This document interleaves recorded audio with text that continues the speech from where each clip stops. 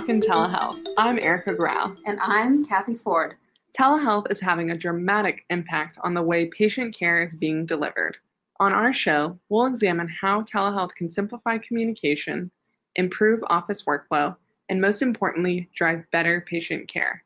In addition to hearing some great clinical stories about telehealth in practice, we'll talk about where telehealth is today and where it's going, including how the latest regulations are impacting provider operations and reimbursement. You can find podcasts of previous episodes of Talkin' Telehealth on our program page at healthcarenowradio.com and rhinogram.com. Be sure to follow us on Twitter at hashtag Talkin' Telehealth and follow us at Rhinogram on Twitter. Welcome back, everyone. Thank you for joining us again. Last month, we discussed COVID 19's impact, and this is obviously a more than one episode topic. Since last month, we've seen things slow down, but to date, we're looking at 90,000 deaths in the US today. We are currently in a much different place since the last time we spoke. We're now looking at our economy reopening, along with businesses and healthcare offices opening their doors.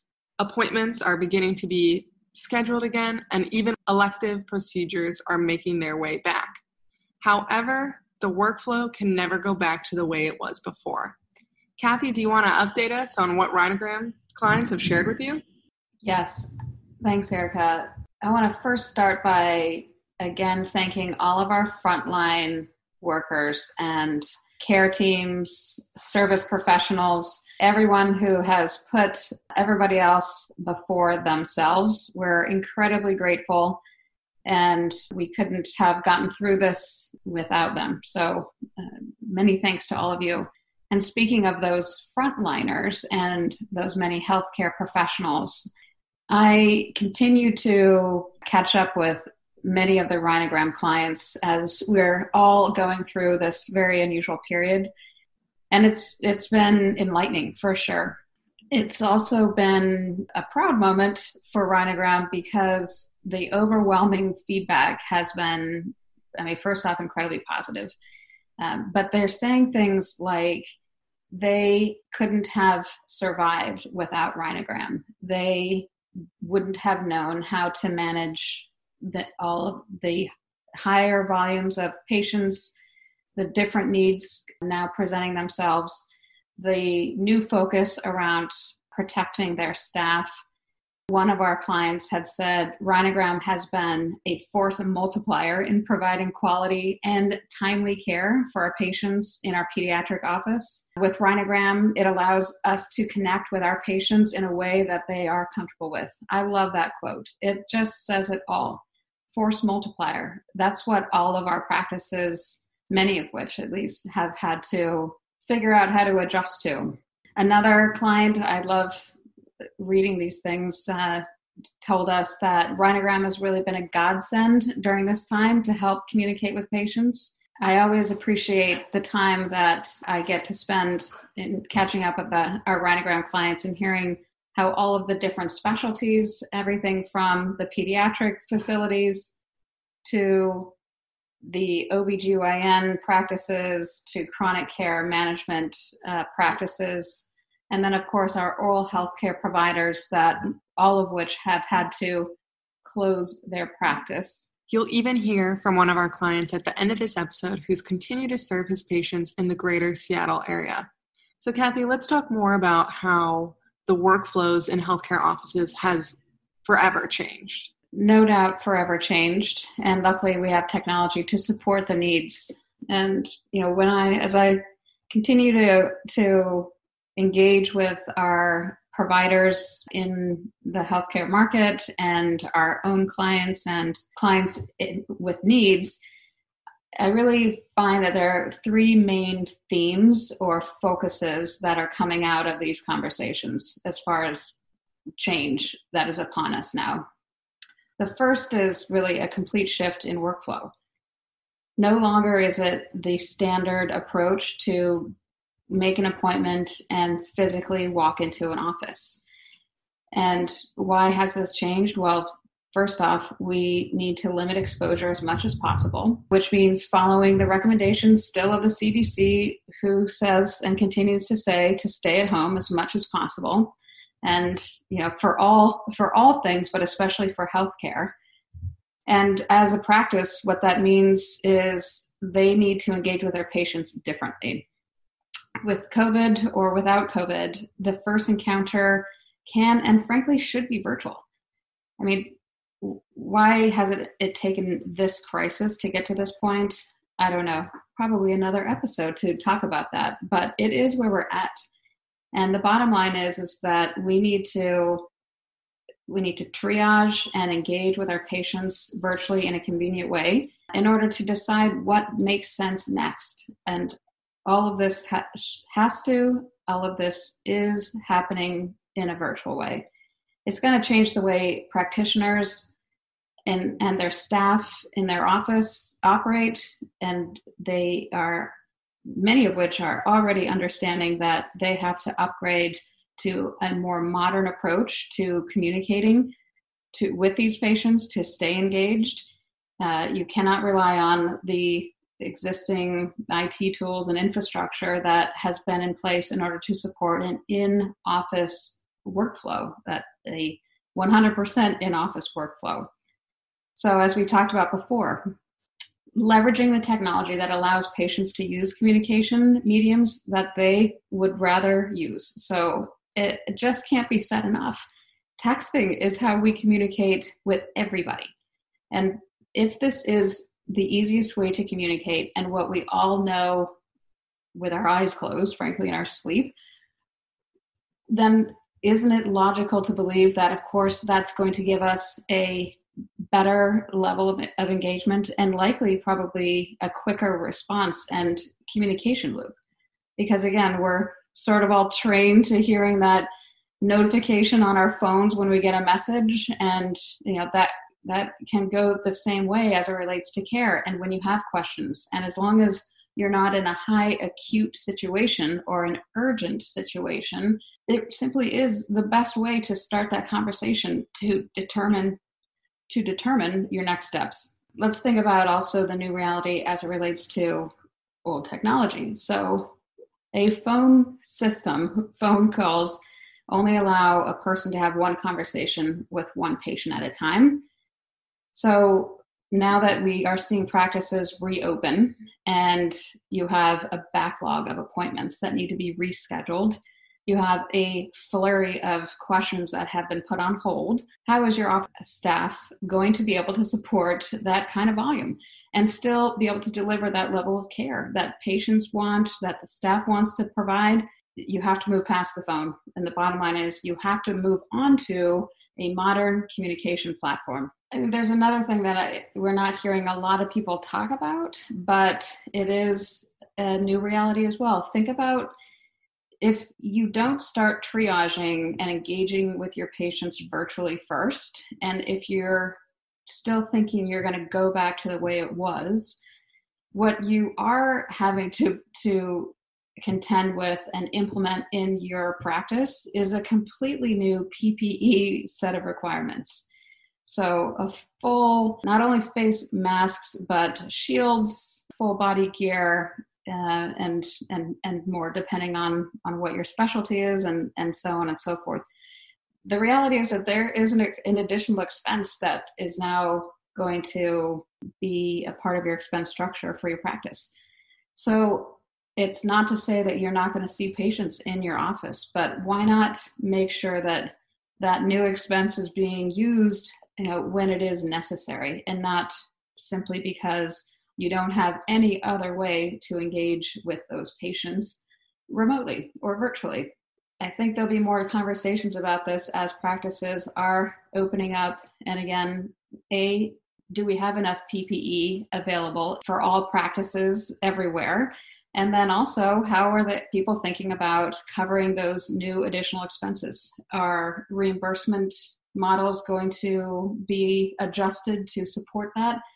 I haven't heard anything about that yet, so we shall see. But it's something that we need to think about it as it relates to shifting the workflow. Now, as we talked about, patients, sure, definitely patients need to come in for certain things. So what's the what's the new way the new the virtual waiting room as as we all are hearing So, how do you make that as efficient as possible? If your virtual waiting room is your parking lot, which is how most practices are approaching this, how do you let your patients know that that is the new protocol? How do they know when they're up next? How will you tell them what measures your practice has taken in order to sanitize and, and maintain a clean, safe setting for them to when it is their time to come in. And what can they expect? Again if you are going to rely on a process of phoning each one of your patients and then them phoning you when they're in the in your parking lot in their cars and relying on your staff to be able to answer all those calls one at a time you will you will struggle. We know you will so think in terms of your new virtual waiting room, which again, a lot of times will be the parking lot. You need to be able to stay in connection with those patients, though. Let them know when people still run behind. This reality will still continue. Things come up. Not everything is predictable. But what a great service to be able to text your patients while they are sitting in their cars, listening to some great music, hopefully, or to this podcast, and to be able to be kept up to date with really minimal interference or uh, interruption. And again, how easy would, would it be for your staff? They could even pull up a template if they've got the right platform that allows them to send essentially the same message to maybe all of their patients that are sitting out in, in their virtual waiting room or their parking lot. So we need to be thinking about, again, leveraging technologies to help accommodate both the patient and the staff, the team, the care team, to get used to this you know, distance, keeping everybody safe, making sure patients are informed. I mean, frankly, you can also do other things virtually as well. If we're talking about that touchless setting or touchless encounters, what we want to make sure we're doing is anything that can be done digitally.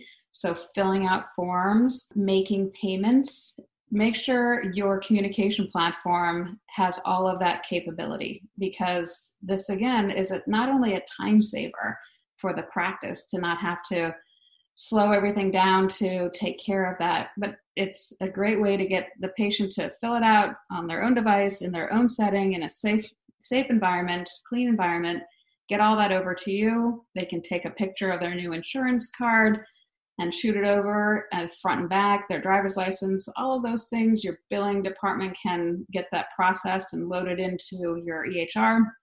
And then all that patient has to do is walk through the doors and then be seen. And that's really what is the future of workflow in healthcare today. I think that there's another piece that is on everybody's mind, and what about these patients that have been delaying their care? Patients, frankly, are scared that they're going to contract the virus stepping into a healthcare office. We hear a lot about it. I continue to read more and more studies about how many patients with chronic conditions have escalated and ended up in the emergency department because they simply did not keep up with their care plan. They needed a prescription change they were too scared to call or they tried to call their doctor's office couldn't get a call back couldn't get through but didn't want to come in. And it, it escalated. I think that we are going to see the downstream effect of this reality in the coming months and maybe uh, also next year as far as the progression of certain patients and their issues because of the lack of convenience to stay connected with your doctor who's treating you and who knows you best and knows your condition best in order to help you stay healthy. So, do we think that this is the end of the waiting room as we know it? Given that CMS has issued a second round of groundbreaking changes for telehealth, Kathy, what do you think happens next? These are interesting times. Can't say it enough. Seeing CMS make these drastic changes to reimbursement rules, we're also seeing payers follow suit. There's still quite a bit more that needs to happen here, but almost daily, everyone from the President of the United States on down seem to be talking about telehealth on a regular basis. So the more that we can bring this the value of telehealth to light, the better. I think that there are some critics still today of telemedicine that think that doctors cannot adequately meet their patients' healthcare needs without being in the same room. What the COVID crisis has proven is that it's not the distance that is the problem. It is as long as you have technology in place, you can actually likely improve the relationship between the patient and the doctor. I do think that this is part of the future of what telemedicine will bring is a stronger physician patient relationship. I think that we should celebrate the breaking news that came out here a few days ago about Blue Cross Blue Shield of Tennessee, located right here in Chattanooga, Tennessee, their headquarters. They announced that they will permanently be reimbursing for telehealth visits. This is not a temporary approach for this payer. They will not go back to the old ways post COVID 19, which we're not even sure when the post of COVID 19 is. And this is really a pioneering approach and simply what's needed across all of our payers. So, looking forward to seeing others follow suit with Blue Cross Blue Shield of Tennessee. I love your points, Kathy, on how COVID 19 really sped up the education of telehealth. So, why don't we talk a little bit more about these changes? You know what I am really excited about as far as what is coming is first phase for our healthcare sector here has been the reality and way faster adoption around telehealth and understanding that we need to leverage modern communication tools in order to provide better levels of service in the times that we live in today, which means a lot of care can occur virtually.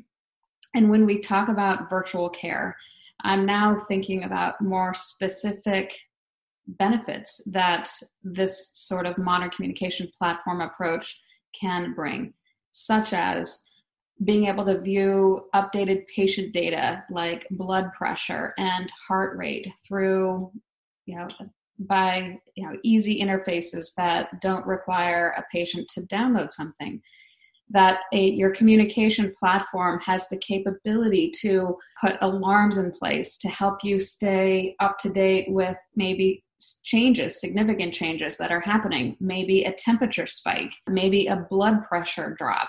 The future here doesn't require a patient to be tethered to their Alexa or have to log into their EHR there is technology, and I'm very excited that Rhinogram will be pioneering this as well. But there is technology that will become also standards of care that will be easy for patients to stay connected even when even in a passive way. So what's next is first off everybody needs to use this period of time while we are flattening the curve as we're approaching summer to get prepared, which means make sure you have a robust communication platform that is going to service the entire patient workflow need in the virtual world.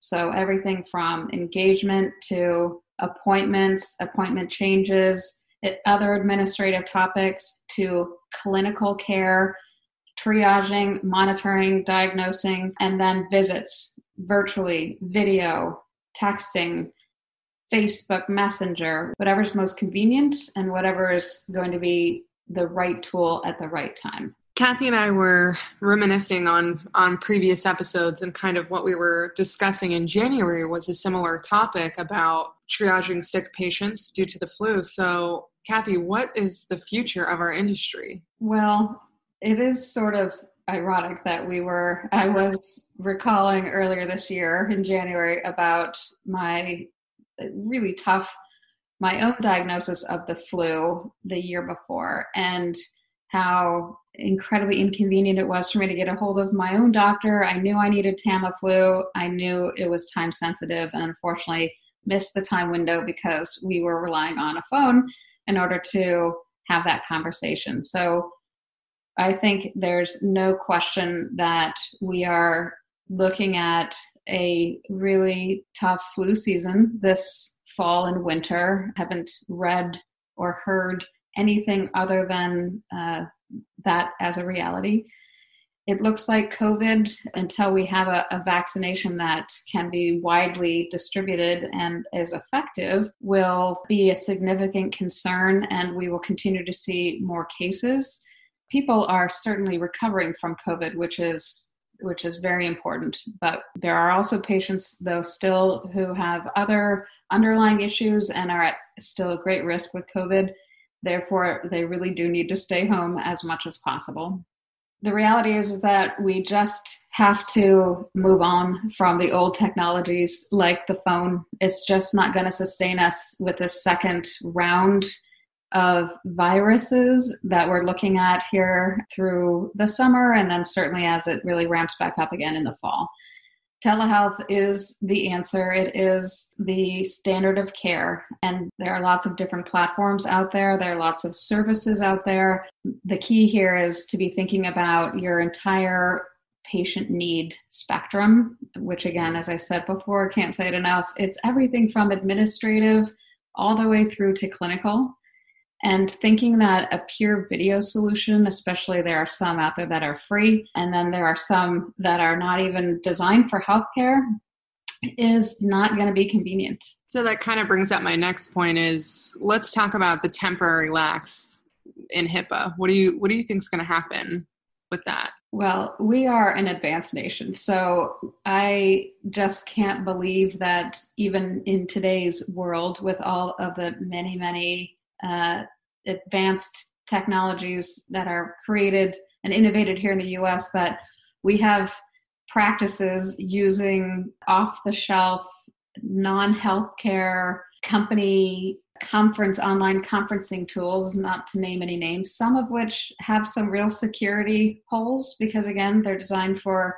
online meetings and powerpoint presentations for sales pitches and things like that and not designed to have a fully encrypted and secure. For those that were in crisis mode, it's certainly understandable. However, there's really no reason for it. So, HIPAA is in place for a great reason. The protections are have not changed, and you know the other reality is why would you deviate from your standard of care and your protection approach. The key is to upgrade your technology. It's a compromise that is too risky. We've seen so many cases of ransomware that have crippled practices and healthcare institutions not only from a vulnerability standpoint from to their directly to their patients but from a ransomware expense perspective especially for you know privately owned practices, I've seen these ransomware requests and payments nearly close the practice just because they're so high. Don't compromise. Make sure that your communication platform is fully compliant, encrypted, non editable, non changeable. Make sure that you have access to it. Again, a lot of these free tools, they, you know, you have no records of of that conversation that you can fall back on. What if somebody misunderstood something that you prescribe or that you're recommending them to do, a plan of care? But if you have no record of that conversation, then you know you're facing some significant challenges. We wanted to leave you with a story of one of our clients. Dr. James Thomas offers a unique and vital service treating infants with tongue tie. He practices in the suburb of Seattle, putting his office at the heart of one of the highest concentrations of COVID 19 reported cases. He has faced unique challenges during this time, and it is a great example of how leveraging a modern telehealth platform has enabled him to continue to deliver high quality care. Healthcare providers are faced with shifting day to day challenges. In light of COVID 19, our practices are dealing with a whole new normal. I want to share with you today how my practice is adapting to treat patients virtually during this pandemic. We are faced with mandatory closures all across specialties. Our children are home, schools and businesses are closed. If we have a high rate of cancellations and no shows, how do we manage that? How do we turn it off? And more importantly, how do we turn it back on when we come out of this pandemic?